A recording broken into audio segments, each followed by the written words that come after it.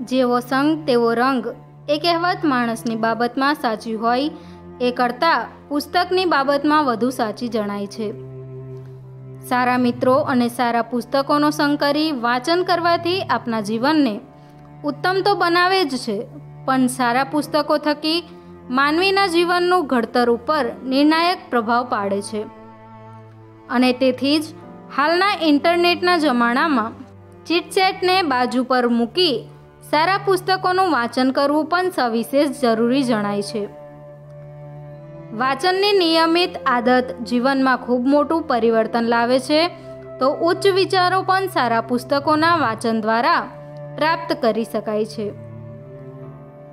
ત્યારે વાંચનની ભૂખ ભાંગવા છોટાઉદેપુર જિલ્લાના ગ્રામ્ય વિસ્તારોમાં પણ પુસ્તકાલયો શરૂ થવા લાગી છે, જે સરાહનીય બાબત ગણી શકાય. છોટાઉદેપુર જિલ્લાના ઘણા ગામોમાં પુસ્તકાલયોની શરૂઆત કરવામાં આવી છે. ત્યારે જિલ્લાની પુસ્તકાલયોની યાદીમાં વધુ એક પુસ્તકાલયનો ઉમેરો થવા પામ્યો છે. ટીમ રૂમડિયા દ્વારા આયોજિત રૂમડિયા ગામની ઉચ્ચતર માધ્યમિક શાળામાં દેશી હિસાબથી લઈને વિવિધ પ્રકારના પુસ્તકો ખરીદીને એસોસિએશનના પ્રમુખ જામસિંગભાઈ રાઠવાના હસ્તે લાઇબ્રેરીનું ઉદ્ઘાટન કરવામાં આવ્યું હતું.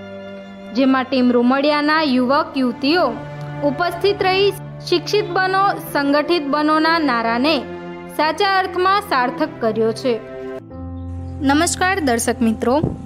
પિઠોરા સમાચાર આપણને વિનમ્ર અપીલ કરે છે કે આપના ગામમાં કે આપના વિસ્તારમાં કોઈ આકસ્મિક ઘટના બની હોય, કે આપના વિસ્તારની કોઈ સમસ્યા હોય, તો નવ્વાણું બે પિસ્તાલીસ બાણું બે છ્યાસી વોટ્સએપ નંબર પર વિગતો, વિડીયોઝ કે ફોટા મોકલી આપન બનો, પિઠોરા સમાચારના પત્રકાર મિત્ર.